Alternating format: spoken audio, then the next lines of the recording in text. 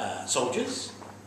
Um, he shows no sign of ever being anti-Semitic in a meaningful way prior to 1918. That's even true if you go back before 1914. If you read Mein Kampf, there's a, a chilling passage in it where he says, in Vienna, for the first time he saw Jews as they were, and he realized how repellent, uh, how objectionable they were, how disgusting and degrading they were. And he resolved, according to Mein Kampf, to fight against that great internal evil, the bacillus in our midst. There's no external evidence that he ever went, underwent such an experience. He dates it, he writes it in 1924, but there's no corroboration from anywhere else for that um, account. It seems to be made up for propaganda purposes when he wrote it in prison in 1924. So the argument is that prior to 1918-19, he is not notably anti-Semitic.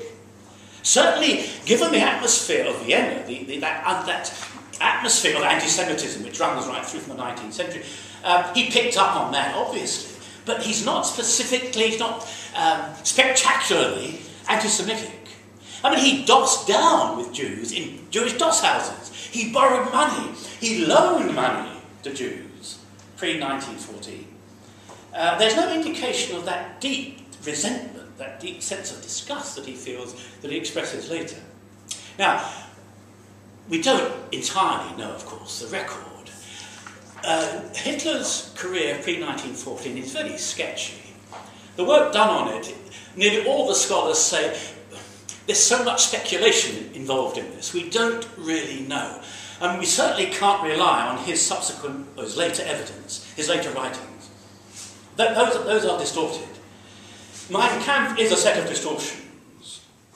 It may contain pointers to the future about how he saw Russia, for example, how he saw the German nation, how he saw the Volk, and so on. But as a, a piece of autobiography, it's very, very deficient. And one now would be very un, uh, unwise to relate any uh, strength attaching to the truth of the story to his account or to the notions we have pre-1918. What happens, therefore, in 1918 is critical. And I'd include really up to 1920, just trace that through.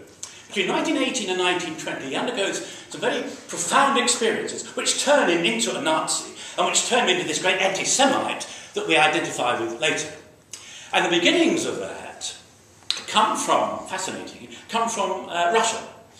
Um, when the war ended and he felt betrayed by the stab in the back he was, he was deeply nationalistic by 1918. Uh, that, that I mean, he, he, he embraced the German notion. German culture was superior to all others. Um, he rejected his Austrian Habsburg background and he embraced the, the German notion. So there's a strong element of nationalism. He admired Germany. And most outsiders, of course, have a, have a deeper sense of belonging, like the convert notion.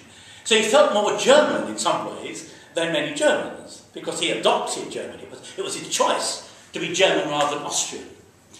Uh, that being so, as a nationalist, but an unformed one, I mean, he had a strong German feeling, but it wasn't identifiable, it wasn't programmed. He was very open to suggestion. He's a very susceptible man. I'd suggest, in 1918. And his experience post-1918 is fascinating. Um, his first major contact with political thinkers occurs in the University of Munich, where by accident he was sent as, he was still in the army, he made in the army for 18 months after the war ends, and as an, uh, an observer he was sent to um, survey uh, the parties that might be causing problems, that were potentially dangerous in that very febrile German situation. And he was sent to observe um, this young German Workers' Party uh, as a soldier, as a part of a surveillance official.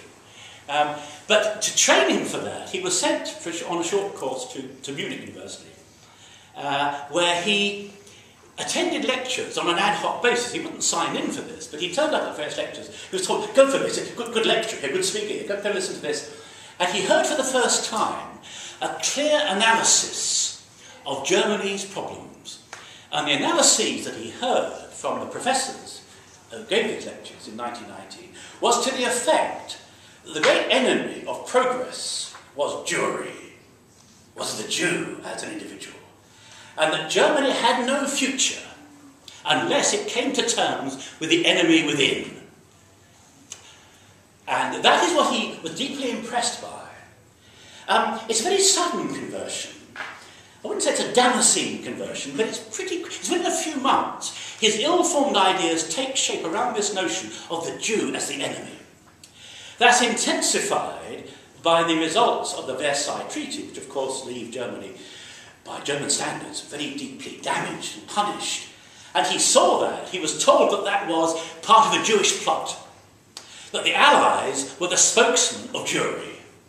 Now, whatever the, the nonsense behind that, he was convinced that Versailles was the exposition of Jewish values being imposed on this defeated nation.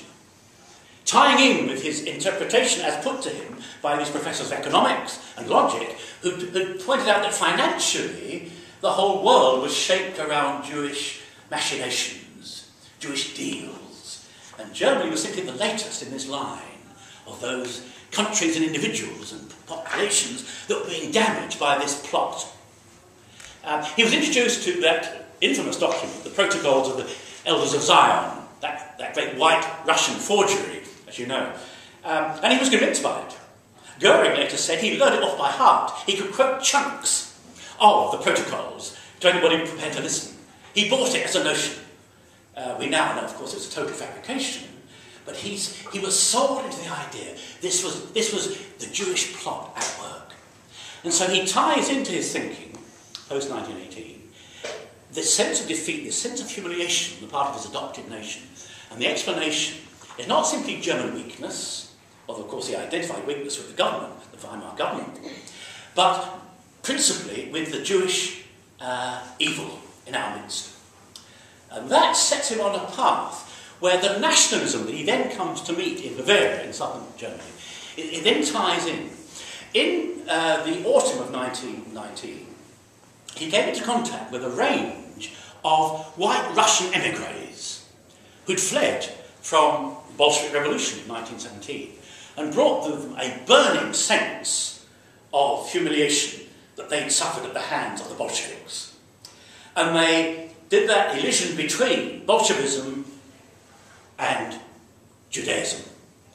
That the one and the other were so wedded, were so intermingled, they were indistinguishable. Bolshevism was an expression politically of the Jewish plot, the Jewish plan for world domination. So by the end of 1919, he's adopted a set of ideas that came second-hand to him in a sense, but added, added on to his basic intense German nationalism, give him this Weltanschauung, as he called it, this, this world view, that he then said, all the Nazi writings from then on claim, he was there from the beginning, that as a young man, pre-1914, way up to 1907, his ideas were being formed.